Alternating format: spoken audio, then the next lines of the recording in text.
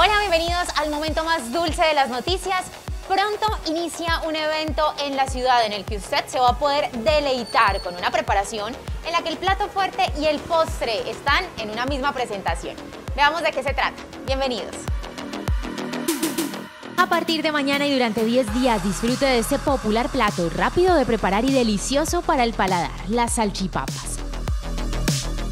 Preparación de ese plato, que tiene como base la combinación de papas fritas y salchichas, ha ido evolucionando con el tiempo y con la creatividad de los chefs y restaurantes. Cada vez son más los ingredientes que se le añaden a esta comida. Por ejemplo, ¿había pensado alguna vez en comer salchipapas con helado, arequipe y galletas de chocolate a la vez?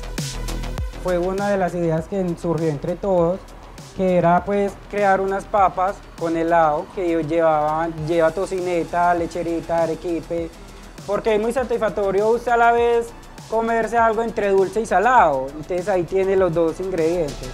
Una receta innovadora que deja sorprendido a más de uno. Primero, la verdad, sí se quedan muy sorprendidos, como que, bueno, pero papa con helado, pero ¿por qué?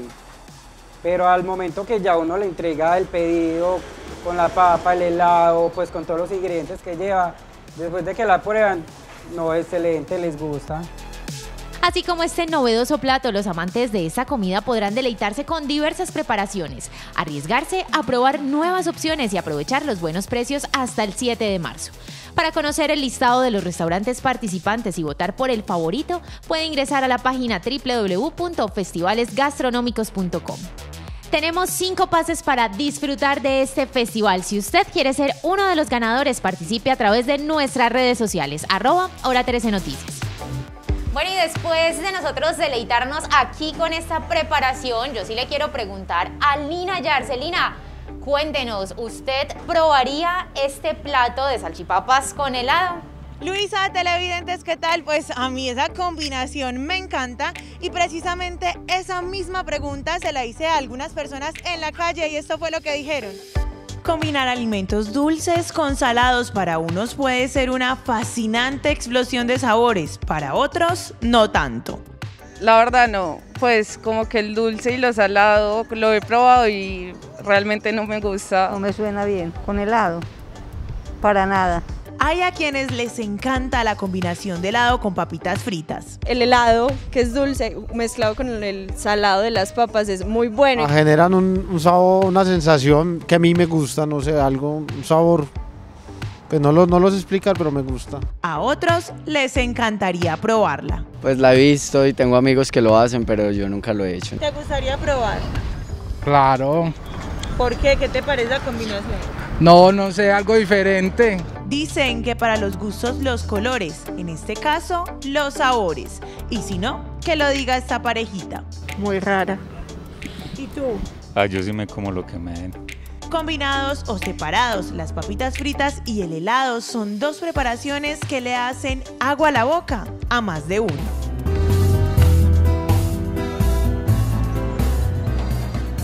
Canal Teleantioquia llega recargado con estrenos y el regreso a la pantalla de los magazines a pleno día, El Paradero y Dale Play. Estamos felices con los estrenos que ya están al aire, no solamente con el regreso de nuestros magazines propios, dirigido a, los jóvenes, a las nuevas tecnologías, a las aplicaciones y todo lo que tiene que ver con el tema gamer, sino con los estrenos que hemos tenido durante eh, esta semana. También está de regreso todos los domingos Tiempo de Vuelta con Luis Alirio Calle. Me sentiría debidamente compensada si la nota terminase de esta manera. Los estrenos son en marzo y abril con los programas Nuestra Tierra y Alma Caribe. Una maravillosa serie documental en la que recordaremos, disfrutaremos y haremos ese viaje también al pasado eh, a través de los personajes que fueron fundamentales en la transformación de la vida de nuestro departamento y de las grandes obras que se gestaron en el pasado. Y en abril tendremos Alma Caribe, otra serie de documentales maravillosa en la que haremos un paralelo entre la cultura caribe, todo lo que tiene que ver con la costa, con la región del Atlántico y nuestra cultura antioqueña, no solamente a través de personajes, sino a través del río Magdalena, que es ese eje que nos une. Una programación para las familias en las que se resaltan los valores de los antioqueños y se da visibilidad a las regiones. En esta primera jornada electoral del 2022, Teleantioquia es la elección, un espacio en el que la fuerza informativa de Hora 13 y Teleantioquia se unen para llevarles información clara, transparente y ágil sobre las propuestas de los candidatos a la Cámara de Representantes y al Senado. Y un cubrimiento especial el próximo 13 de marzo desde diferentes puntos del departamento. Toda la programación también se puede encontrar en la página web www.teleantioquia.co y a través de las redes sociales.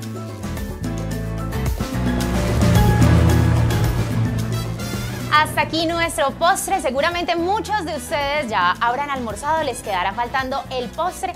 A mí como no me ha dado tiempo, pues me va a tocar hacer las dos cosas a la vez, almorzar y comerme el postre disfrutando de esta delicia. Que tengan una feliz tarde, nos vemos por supuesto mañana. Chao.